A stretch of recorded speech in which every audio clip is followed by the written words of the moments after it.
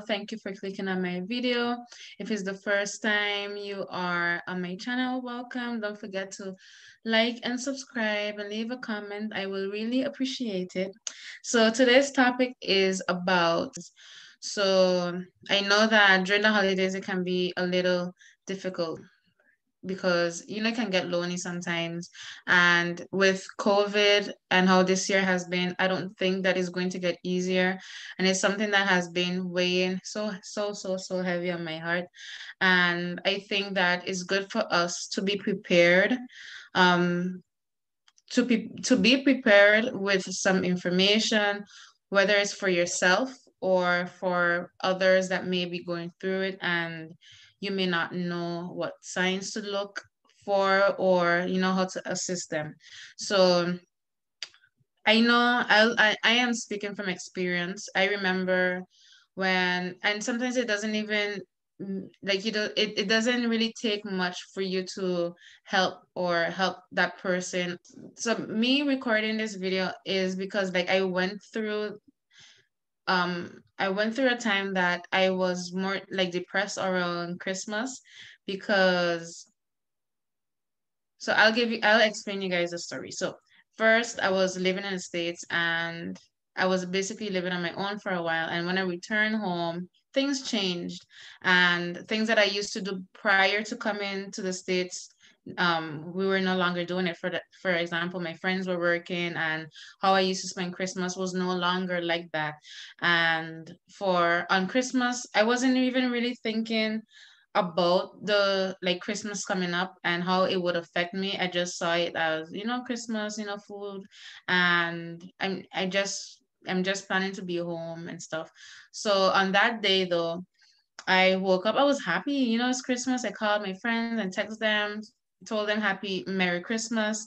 And during that day, I'm like, dang, I my mom didn't cook, which I didn't really make a big deal out of it. Yes, I can cook, but usually she does the cooking during Christmas. Is only me, and she decided not to cook. I was like, okay, fine, you don't want to cook, it's okay. But deep down, I did really want her to cook, but she didn't. But anywho's, so on that day, um, I just stayed in bed the whole day my parents had like two bottle of wines. I stayed in bed the entire well, stayed well, I, I was basically a couch potato. I drank two bottle of wines. I was just in my feelings. Like I wasn't happy. I was just going through it.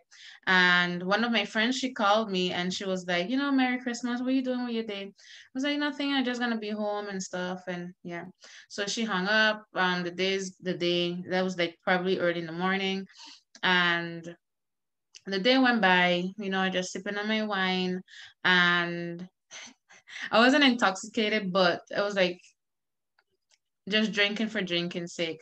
And I heard a knock on my door like around four or five in the afternoon. And when I peeped and I and and I peeped out the window and I saw it was her. She came with a plate of food and she had her nephew with me. I was like, oh my gosh, um, thank you so much. Like I wasn't expecting you to come. Like I wasn't expecting anyone. She's like, yeah, um, mommy cooked, and I said, let me bring a plate for you. So she brought the plate. She gave me a plate. She gave me a Christmas card, and her nephew gave me coke and um a coke soda. and I was like, you know, that really touched me. After she left, I teared up. I teared up because you know there's I tear it up because it wasn't how it used to be and it was lonely for me at that time. My parents wasn't home. They're usually not home, but um, it was just different compared to how it used to be.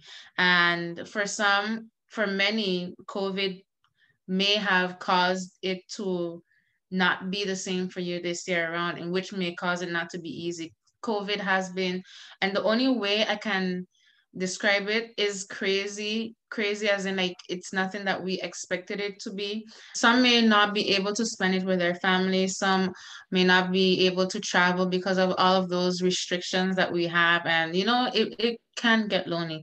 I'm going to go through a slide that shows that speaks on the signs that you can look for going through depression um, if you were the one if you are a person that may be going through it or if you are a person that may notice someone going through it you would know more or less what to look for. This presentation the slide is not from me. I didn't create it. I didn't make it.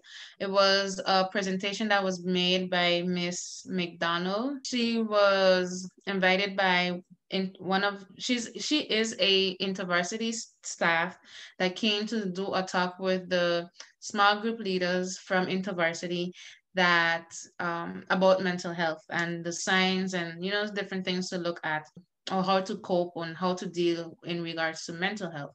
So i'll just go through a few slides from her presentation that i am presenting to you. I mean if you have the knowledge you got to give it because sometimes people just don't know and mental health is something that is so important and people and, we, and it's still something taboo like we don't really talk about the things that we're going through and i find it so important for us to recognize the signs and know how to deal with it and seek help where it is needed especially during these times and sometimes you're not able to do it on your own. As much as i love god and i do believe that god can and can save us from all of our from these things.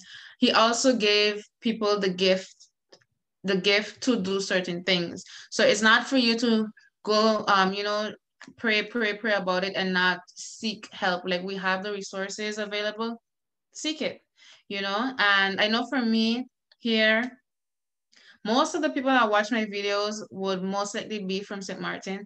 We do have mental health um, available. And every time when you tell, I used to work there. So whenever I tell anyone that I, uh, whenever I used to tell anyone that I was working there, is like, oh, you're working with the crazy people. No, you need to stop saying that because it could be any one of us. It could have been me in there. There's different things that can trigger you to have a mental breakdown, a mental illness. So like, don't take it lightly. And I, uh, you need to stop making them jokes.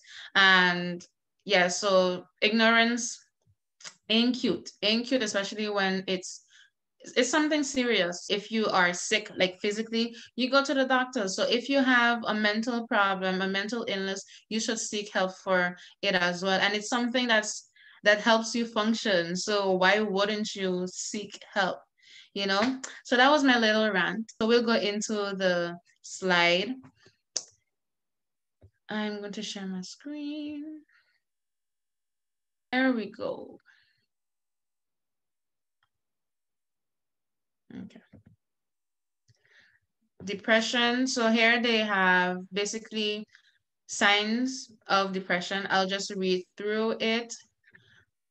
I might not do all, but you will have the slide visible.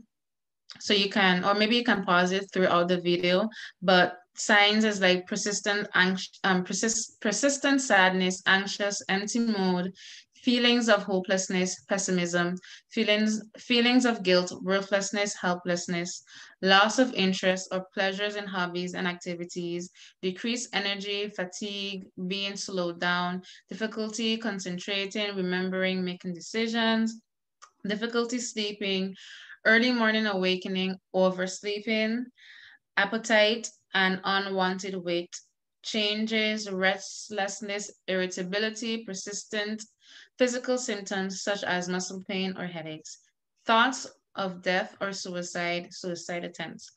So from I'll interject and talk about my experience in depression. I don't have no problem talking about my experience because you gotta talk about it. Let's normalize talking about these things. For me, when I was going through my depression, it was I was feeling feelings of hopelessness. I was very pessimistic. Oh my gosh. Like I wouldn't even want to be around me like during that time. It was hard.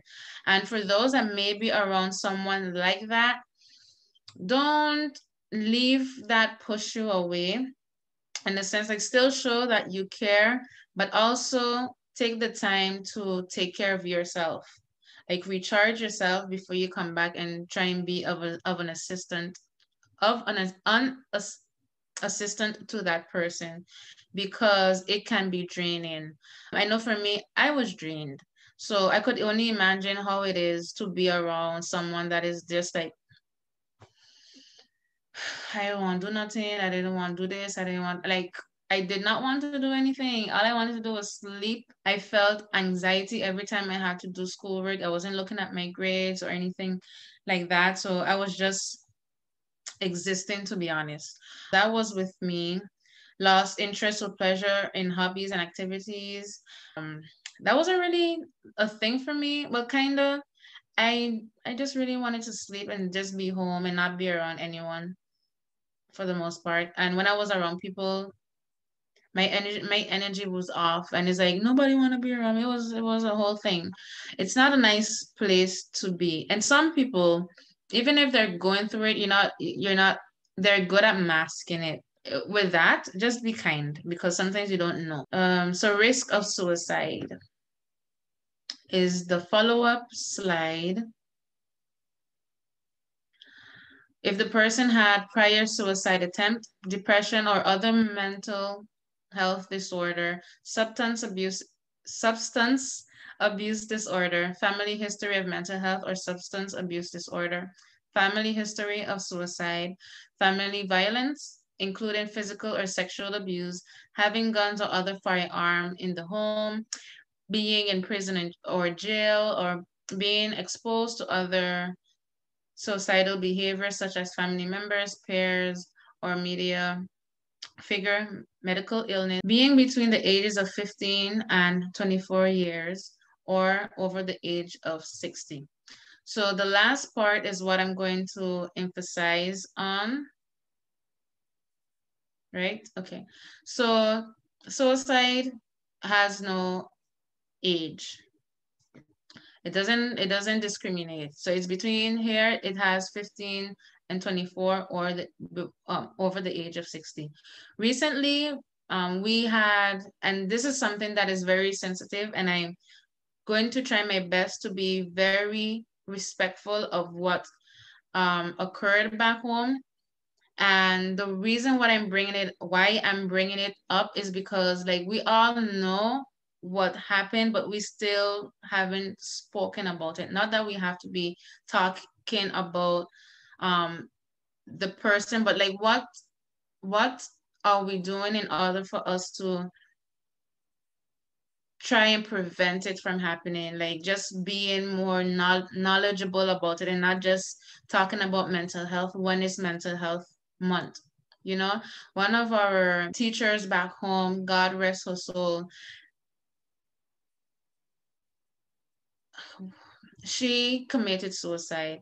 And it's very it's it it, it touches because a lot of times when you hear things like that the first thing that people say is that oh i did not know that she was going through something like that. She was always smiling. She you know this person always had like a happy person uh, like a happy um, persona you know? And it goes to show that people and it doesn't even matter like the age because like you went through your life and you know you have knowledge you are a smart person like you know. And the decision that was made was for that to happen and it could not have been an easy decision. And for you to make it at 60 must be hard. And also i was made known of a situation here in the states. An 18 year old young guy took his life away. And i'm like that hurts because you had your whole life ahead of you and this is what happened. And his mom is mourning his her son and it's nothing. No mom no parent wants to go through a situation like that. And anyone that made that decision i don't ever think that going through the process is ever easy. You know sometimes they think that okay if i were to do this, then my people won't have to go through it. Or the pain is so much that I cannot bear and I I rather not be here anymore. So the next slide is warning signs of suicide suicidality. We're gonna speak on the talk, the behavior, and mood. So the talk is more like kill I you know kill they talk about killing themselves, they feel feeling hopeless, having no reason to live, being burdened, to being a burden to others, feeling trapped, unbearable pain.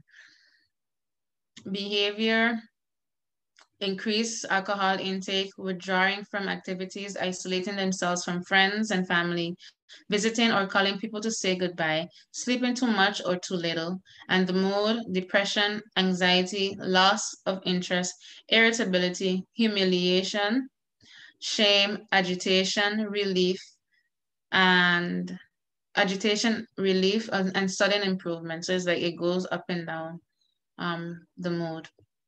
And I, for me, how can, where do I feel? Oh, increased use of drugs. Yes, Mary Jane was my best friend during that time. Like the urge and the crave was, that was my escape. That was my coping mechanism then. And the talk, for me, it was more about I want to disappear, but I never let it go to like I wanna like I just wanted to not be where I was at the moment. I didn't want to be in Tallahassee. I just wanted to disappear and don't tell anyone. But the only thing that I that I was worried about was my mom. And I was like, if I do go, because I like I said, I didn't I wasn't thinking about dying per se. I just wanted to disappear and not be around people for a while. And the only thing that I was worried about is like my mom, like what is my mom gonna think? I don't want to hurt my mother. So I, I guess that's the that's the only thing that kept me pushing. But it was hard.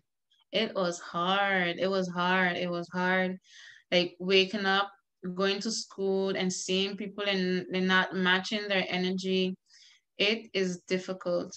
Um, I know it's difficult for those that may have to deal with that person, but that person is also having difficulty dealing with themselves.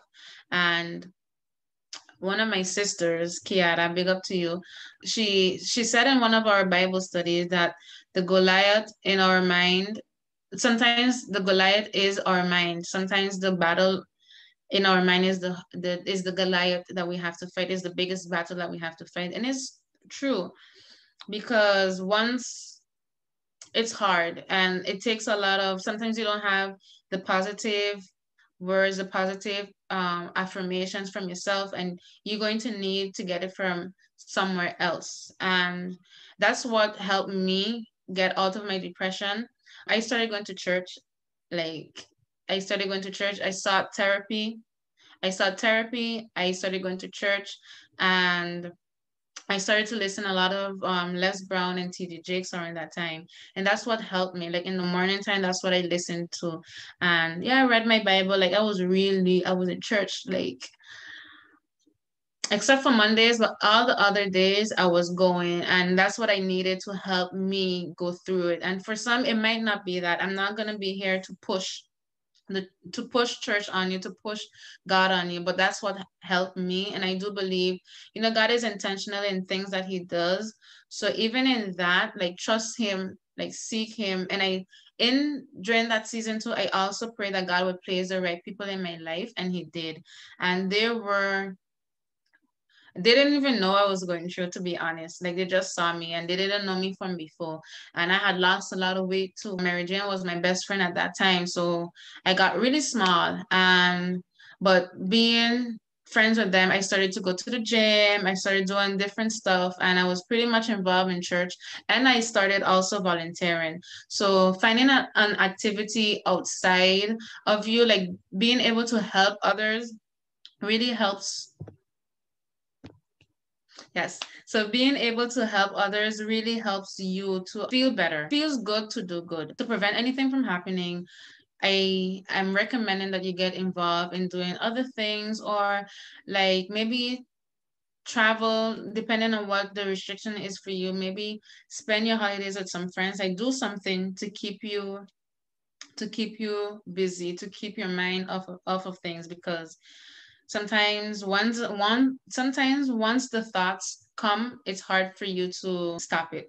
If you notice that a loved one may be going through something and you notice some of the symptoms or the behavior based on the slide be kind to them and be very patient with them because they are also battling with themselves. As much as you like oh my gosh, they're doing the most, but don't give up on them. Really and truly, just be there for them. Show the act of kindness. People go through things and people have been through things that you don't even know their story, you know? So please, during the holidays, enjoy yourself, be safe, and take care of yourself. That's the most important thing. Like, put you first, your mental health first before you put anyone else before you. You cannot be of help to anyone if you are not 100, you know? So if the more, the best you that you are, you then you can be an, an assistant to other people. That's it for today's video. Thank you all for watching. Again, please, please, please take care of yourself. Take care of your mental health and leave a comment if you guys enjoy the content if you believe that it was it that is useful to you I'd really like to hear from you. Please leave comments, guys. Don't just watch the video and like the video, please. Thank you in advance. I love you all. Have a good night. Um, have a good night because I am filming this in the night, but have a good day, afternoon, morning, whenever you do watch the video. Thank you all again. Bye. Love you.